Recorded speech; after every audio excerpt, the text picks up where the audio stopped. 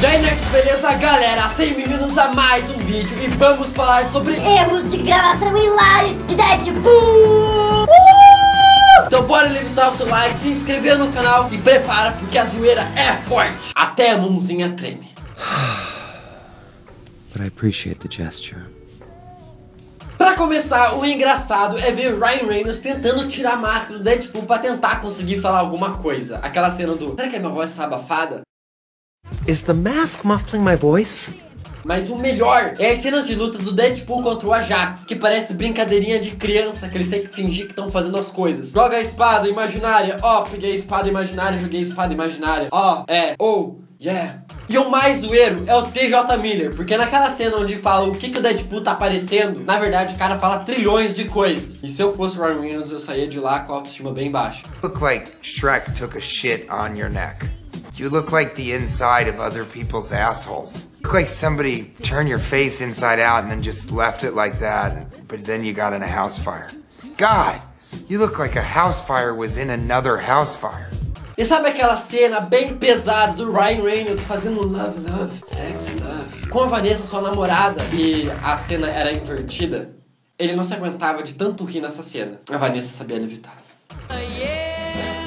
No, no, no. Uh, easy, easy. Come on, get cut. E a cena do carro onde o Deadpool tá lutando com os bandidos é tão engraçada. Até deu tempo pra eles ficarem cantando musiquinha. Fico imaginando a galera gravando e o cara começa a cantar do nada. Tipo, diretor, temos um demente mental aqui. E ele se chama Ryan Reynolds. Você não vai falar que tem um demente mental e ele se chama Gabriel Bernardo? Eu acho que ficou meio óbvio, né?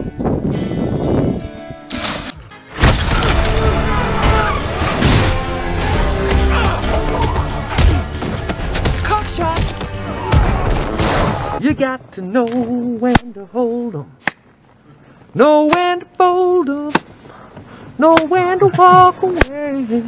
E sabe quando o Deadpool chama Mega Sonic Teenager e o Colossus, ele tá falando que a mansão é X-Men? Eles são machistas por se chamar X-Men, sendo que tem uma mulher lá dentro. E ela concorda com o cara. Seriously, it's called the X-Men.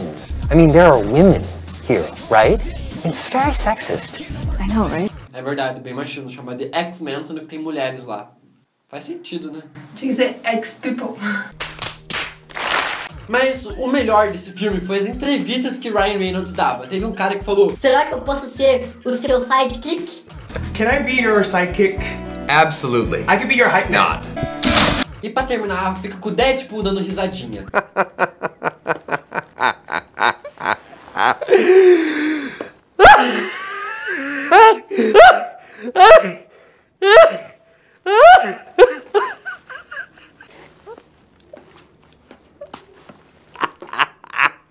Então bora evitar o seu like, se inscrever no canal, evitar muito like pra esse vídeo pegar bastante likes e a gente fazer sobre mais filmes. Um beijinho na sua bundinha e tchau!